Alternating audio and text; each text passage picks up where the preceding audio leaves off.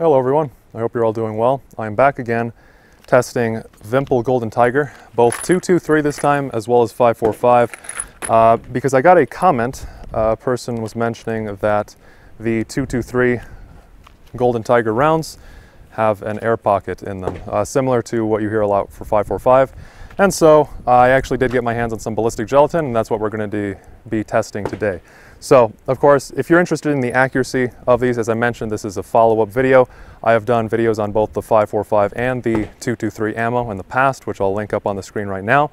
Uh, and then for a little bit on this test, what I'm going to be doing is I'm going to be firing at 20% synthetic ballistic gelatin from Clear Ballistics.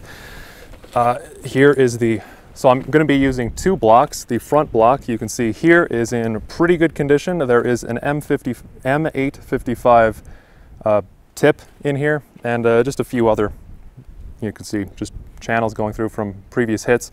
But this will be good. This will be a good test. And just in the event that the round goes all the way through, I do have a block in the rear, uh, which is in much worse shape, but it's pretty clean as far as bullets and all that. I mean, physically is pretty filthy. Um, but that's just kind of to catch it as a last resort in case it does go all the way through. So we're going to go ahead and start here with the 545. The guns I'm going to be using for this test, for the 545, I'll be using my SLR 104 FR. This is a 16 and a half inch barrel, just standard Bulgarian barrel. Uh, pretty standard all across the board. As for the 556 or 223 that I'll be using, I'm going to be using my side charging AR-15. This has an 18 inch ballistic advantage barrel on it. So with that, we'll get started. As I said, 545, and uh, we'll see how it goes. So a few more things before I actually fire. The current ambient temperature is 79 degrees Fahrenheit. So that gel does best at around 70 or 80, so it'll still be ideal for that. Uh, and I'm just doing this at seven yards. So here we go.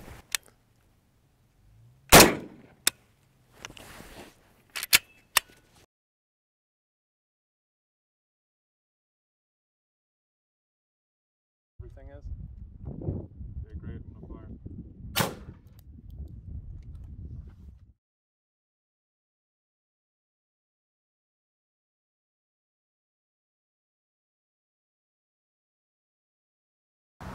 Let's go over the results now. They are pretty interesting. Uh, pretty much every time that I do these, the results do end up being quite interesting, and this time is no exception. So, starting with the results from the 545, I was not able to recover the bullet. I do have the 223, but uh, the 545 did something pretty interesting. I don't know if you were able to catch it. I'm going to play back the footage right now.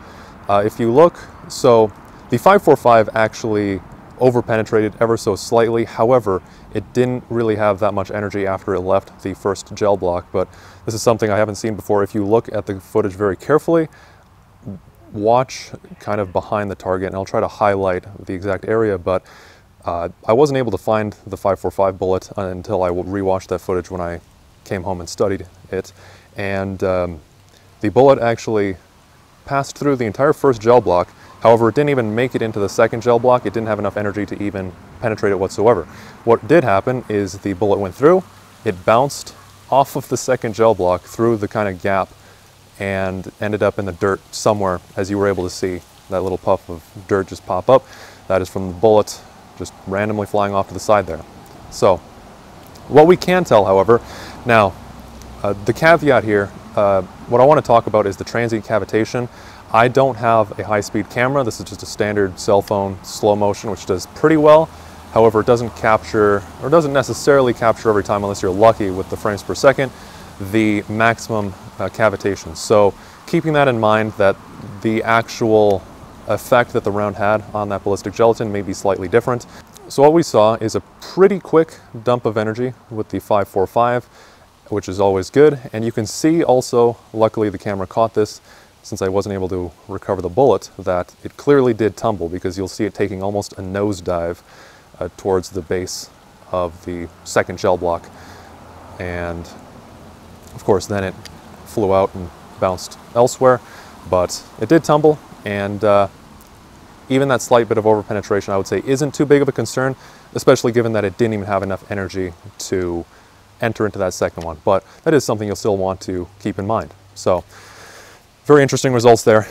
That is all I really noticed. Can't really study too much else with the 545 since I simply don't have the bullet.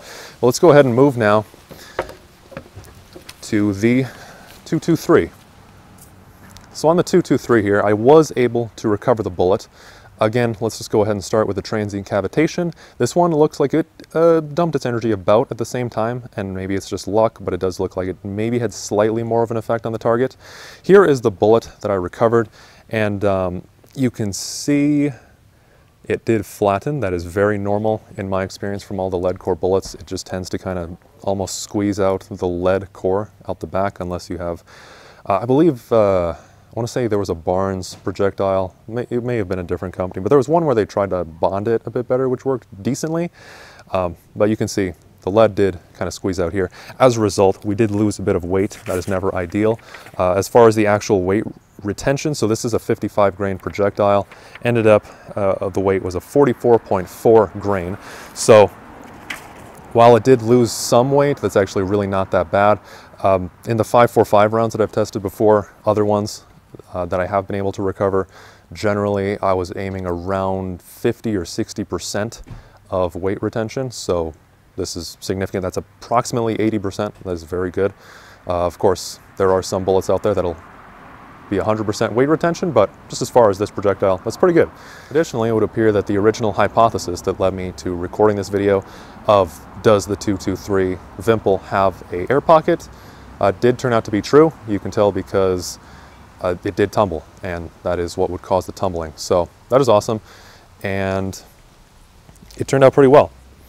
So that concludes the terminal performance tests for the Vympel Golden Tiger in the 223 and the 545.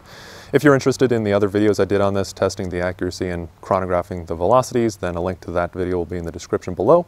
Otherwise, that is all I have for this video. So thank you all for watching. Hopefully this was informative. It was certainly an interesting result, if nothing else. And I hope to see you all in the next one. Take care.